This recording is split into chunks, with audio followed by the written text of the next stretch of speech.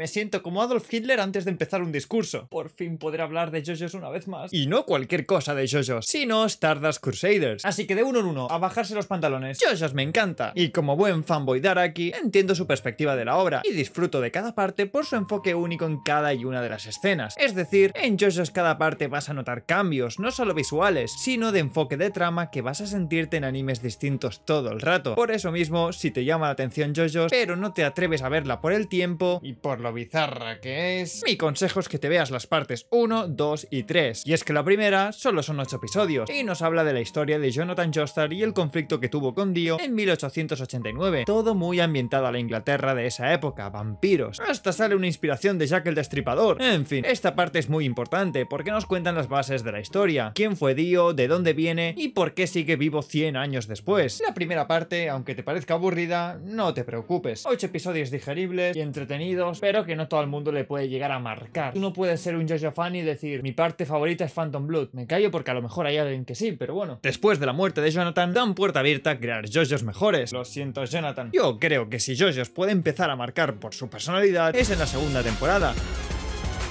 Dejando atrás Phantom Blood, con Jonathan Joestar y Dio, nos dirigimos a Battle Tendency. Battle Tendency es la favorita de muchas personas, y algo curioso que sucede es que los que les gusta mucho Battle Tendency no tragan tanto el estilo de Stardust Crusader, y así sucede tanto viceversa. Como yo soy un auténtico JoJo fan, las quiero todas por igual. Battle Tendency sucede 50 años después a los hechos entre Dio y Jonathan, Segunda Guerra Mundial. Joseph Joestar es el nieto de Jonathan, y su misión es derrotar a los hombres del pilar. De ahí el origen de la máscara de piedra y el por qué Dio puede transformarse en vampiro. El objetivo de Joseph Joestar es erradicar eso y lo logró. No necesitamos saber mucho más. Joseph forma su familia y su hija Holly se enamora de un cantante japonés y de ahí sale Jotaro Kujo el nieto de Joseph Joestar. 50 años después a esto, en 1989, da inicio Stardust Crusaders. Dio reaparece, y sobre los hombros de Jotaro, pedazo hombros por cierto, recae el objetivo de terminar sí que sí con Dio. Algo que empezó hace 100 años va a terminar ahora. Esto es sumamente importante para entender el verdadero peso de esta parte de JoJo's. Todo va a terminar por fin. Dio, que por algunos hechos bizarros del pasado, posee el cuerpo de Jonathan, logra un nuevo tipo de poder. Un tipo de poder que se nos presenta en general en esta temporada, los stands ¿Qué son los stands? Son manifestaciones del alma, con distintos tipos de poderes y habilidades. En muchos casos tienen una forma humanoide, en otros casos solo son una extensión del cuerpo, como por ejemplo Joseph. Joseph Joestar es la única persona de todos ellos que se le ha visto usar jamón y después están en su respectiva parte. Ya sé que al mismo Jotaro se le ha visto hacer esto por ejemplo, pero no en el orden que digo. El formato de Stardust Crusaders es distinto a lo que hemos visto en las dos primeras partes. Battle Tendency tiene un formato que, para mí, se me ha hecho más llevadero. Sin embargo, todo se sostenía en base al propio argumento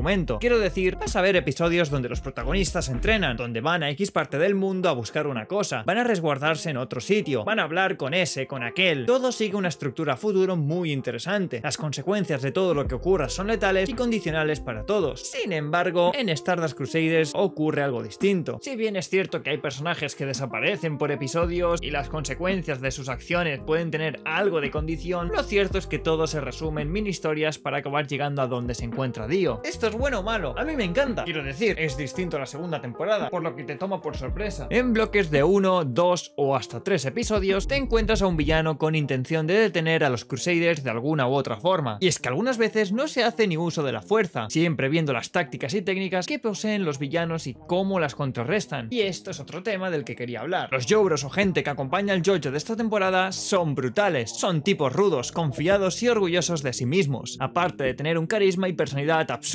potenciado, y centrándome concretamente en el tema de rudos y confiados. Eso es lo mejor. Muchas veces alguno se separa por sí solo o con otro del grupo, y a los demás les da igual, si mueren, se acabó. Si alguien no puede continuar, lo aceptan con frialdad. Cierto es que hay mejores y peores villanos, pero en el peor de los casos, tranquilamente en uno o dos episodios terminará eso, y vas a ir al siguiente, sumado a que emprenden un viaje desde Japón hasta llegar al Nilo de más de 50 días caminando en avioneta, en barco, cada vez que terminaba un mini arco sentías cómo avanzaban. Y eso es genial. Dio, que lo tuvimos presente en la primera temporada sin darle demasiada relevancia, bueno, sí es el villano principal, pero lo veías y dices, bueno, se nos presenta de una forma totalmente misteriosa. Que nosotros sepamos quién es nos da familiaridad con la obra por lo que, de alguna manera, nos sentimos más comprometidos en verla. De alguna manera, de alguna forma, es como si nosotros también estuviéramos involucrados en esto. Madre mía, sé que le chupo el pito a Josos. Y es que sí, la tercera parte fue precisa y cuidadosa en muchos aspectos y cumplió su cometido. Hasta cuando se plantearon hacer robas de Josos en los 90, empezaron por The Stardust Crusaders, no por el inicio. Eso tiene mucho sentido. Hasta Jotaro en sí mismo fue un acierto de la época. En los 90 estaba de moda ser rudo, la gente era un poco rara. Y no solo eso, y es que un protagonista como Jotaro era necesario para terminar con Dio. La contraparte o un stand final de Dio era necesario para terminar con él. Un Jojo con sangre fría, calculador y decidido, sin técnicas raras, estrategias extrañas, todo a puro hora. Muy bonito todo. Pero también creo que esta parte tiene cosas malas. Es decir, no es perfecta. Pero Hoxie, nada es perfecto. Déjame en paz, ya sé que nada es perfecto. Decir que no es perfecto es simplemente un eufemismo para decir que hay cosas malas que se pueden comentar. Evidentemente, no existe nada perfecto. No me gustó como convenientemente apartaron a Kakyojin tantos episodios hasta acabar en el final del trayecto, en la mansión de Dio. Todo porque se tenía que curar los ojos. No sé por qué Araki también lo hizo con Abdol, que en este caso me gustó más como lo ejecutó, pero sí es cierto que su ausencia parece conveniente para la trama, a lo mejor por el excesivo poder. En realidad sí que tiene que ser difícil llevar una trama donde los cinco protagonistas tienen una fuerza descomunal. Sin embargo, lo de Kakyojin me dolió especialmente. Su vuelta y retirada tan fugaz fue...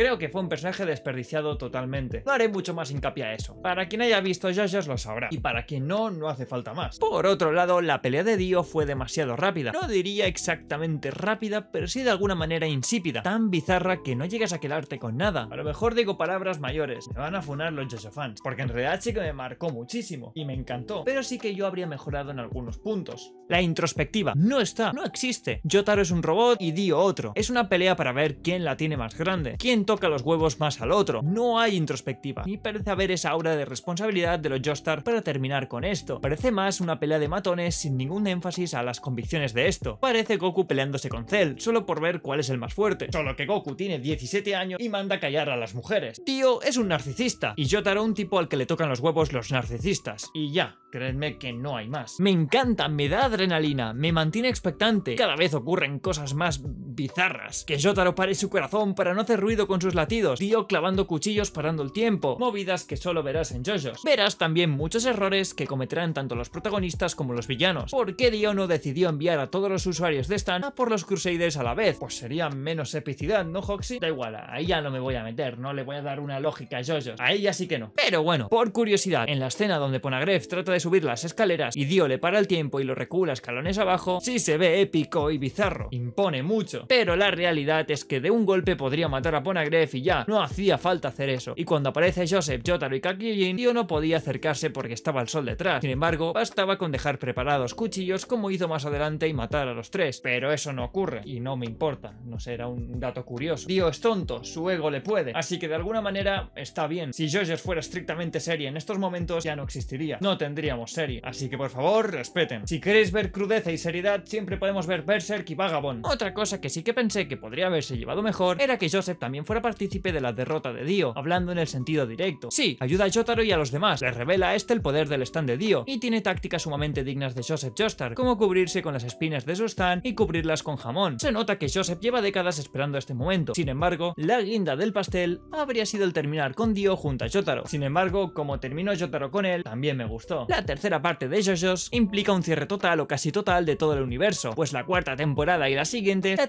relación con las consecuencias de la existencia de Dio, pero no de este estrictamente hablando, por lo que el fin de Stardust Crusaders implica un fin de era para JoJo, siendo la cuarta, quinta y sexta temporadas rey. Es, broma, es broma, es broma, no, no me funéis. Son muy buenas y me gustan también. De hecho, Josuke podría ser mi JoJo favorito fácilmente, pero sí creo que entre ellas notas que realmente Dio es algo del pasado, mientras que en la tercera Dio tiene la misma presencia que en la primera temporada, está en el presente. Dio es el peligro del presente. Creo que cualquier otaku iniciado al tiempo podrá darle una oportunidad a JoJo's, al menos hasta hasta la tercera temporada. Y si JoJo's la ha marcado lo suficiente, es muy probable que pueda seguir con las siguientes temporadas sin problemas, pero no seáis pesados recomendándolo. Con sus errores, creo que Stardust Crusaders es la parte más decisiva de JoJo. Ojo, no la mejor, pero sí un antes y un después en la franquicia, aparte de ser el primer cambio del arte de Araki. Por lo que visto que le funcionó, se atrevió a seguir llevando la obra como él quiso, sin ataduras ni miedos. JoJo's definitivamente no es para todo el mundo. La gente se aferra mucho a lo que tiene y ya ha visto. No le gusta el cambio. Para esa gente, JoJo's no es para ellos. Ahora sí, como JoJo fan me veo en la obligación de pediros que os bajéis los pantalones. ¿Te ha gustado el vídeo? Me ayudas un montón si dejas un like, un me gusta. Si este vídeo llega a 10.000 likes, voy a hablar de JoJo's en un futuro. Todos los vídeos que pido likes de JoJo's llegan. ¿Queréis JoJo? Soy Hox Anime y me despido. ¡Hola!